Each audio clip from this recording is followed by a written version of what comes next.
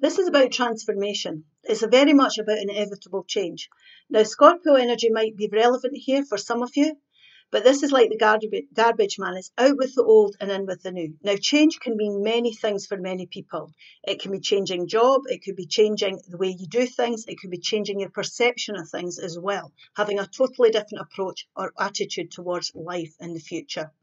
Now, there could have been interference here from third parties. It could be um, family members or members from your soul tribe here there's been a third spoke in the wheel that's brought this change in or made you look at things very differently here, knowing that change needs to be made.